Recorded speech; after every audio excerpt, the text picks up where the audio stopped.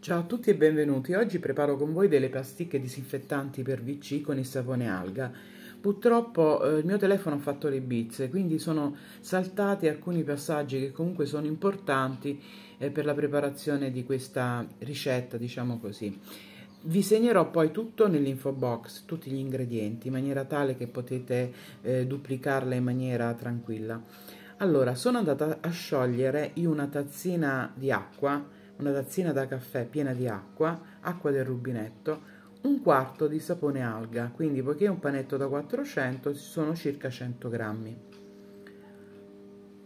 Si scioglie molto rapidamente, eh, essendo appunto molle, potassico, quindi si scioglie molto, molto velocemente.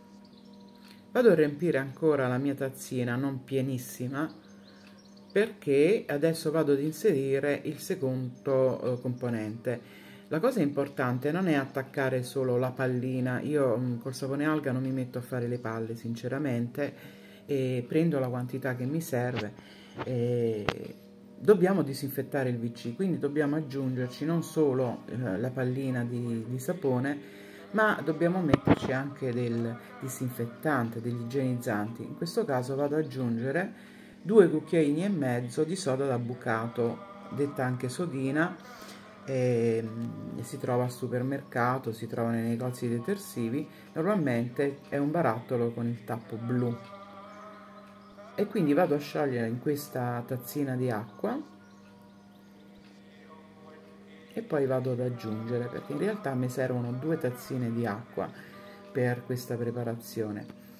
E, adesso purtroppo manca un passaggio e ve lo, ve lo dico a voce poi vi scriverò, scriverò gli ingredienti. L'altro passaggio importante è, è il tensio attivo che adesso vedremo che sarà il sapone dei piatti che servirà a trasportare il momento in cui si fa lo scarico le particelle che noi non vediamo magari di grasso di sporco grasso che è all'interno del VC. Quindi non dobbiamo solo profumare diciamo il VC, dobbiamo anche disinfettarlo. Allora, intanto adesso vado ad aggiungere quest'altro ingrediente che è il sale. Io ho finito il sale fino, eh, con il sale fino potete tenere la fiamma spenta, intanto l'acqua è bollente, nel mio caso avrei dovuto tenerla accesa, comunque si scioglierà lo stesso. Un cucchiaio di sale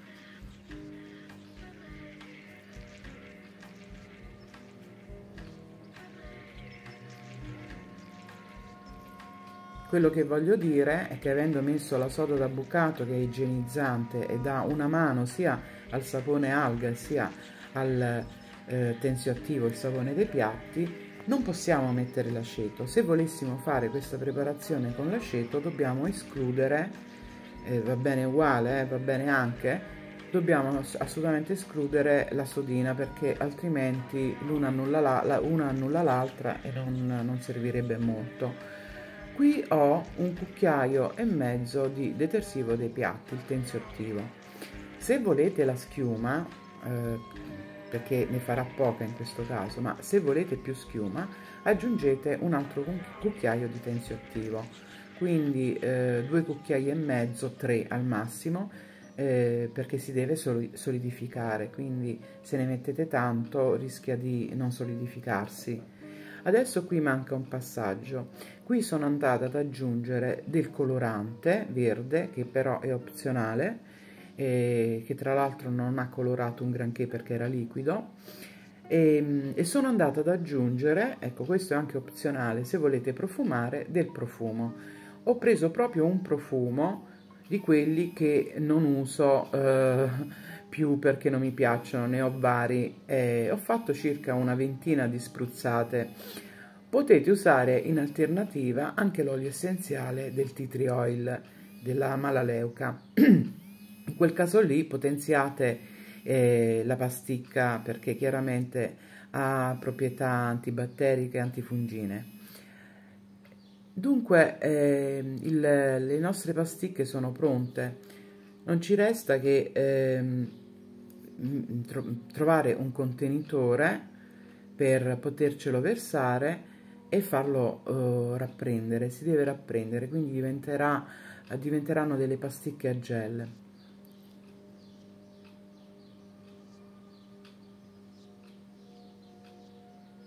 Naturalmente il mio telefono si è bloccato, eh, sono incapace io a dire il vero, eh, sul fornello, però mi ha fatto saltare il passaggio in cui mettevo il profumo.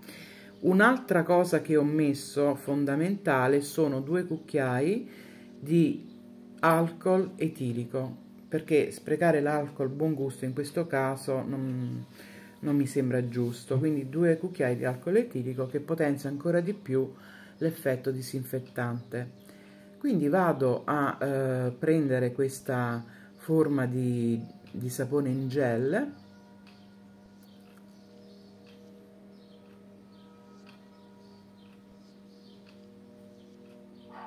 Magari fatelo con più delicatezza rispetto a me perché l'ho rotta ma non ha importanza. E si va a tagliare. Io ho un vecchio contenitore delle vecchie pasticche sanitarie che tra l'altro ho eh, buttato dentro mh, mm, nella cassetta dell'acqua dello scarico e dopodiché non le ho neanche più comprate.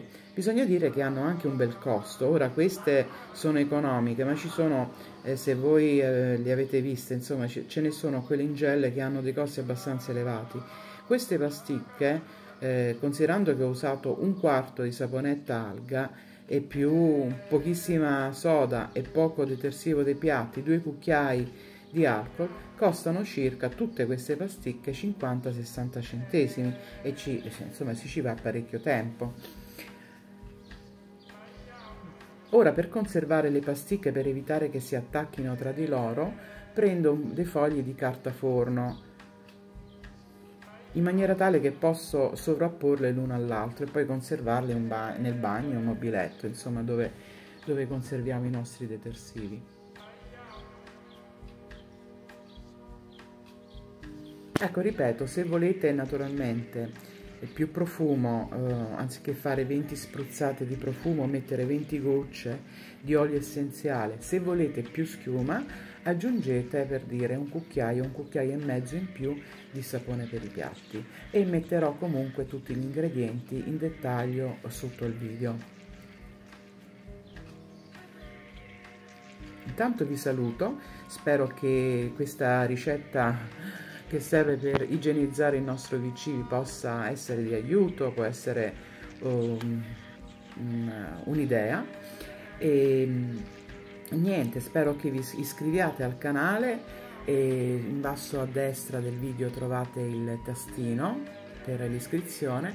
Se il video ti è piaciuto magari lascia anche un like lascia un commento. Eh, a me fa molto piacere interagire con voi quindi e avere anche dei consigli chiaramente ecco le nostre pasticche sono pronte adesso andrò a metterne una eh, nel, mio, nel mio VC è un VC un po' particolare il mio perché non è il livello dell'acqua è sempre molto alto, rimane molto acqua, alto, sembra quasi un bidet e non è rotto, è proprio così. Infatti all'inizio per me era, era, un po' tragico usarlo, avevo paura che mi, che, che mi, che mi toccasse l'acqua, insomma, ecco. Invece no, è un modello di VC fatto in questa maniera. Adesso lo, lo vado a posizionare non ci sarà probabilmente tanta schiuma anche perché ho tanta acqua nel, nel VC rispetto alla quantità normale.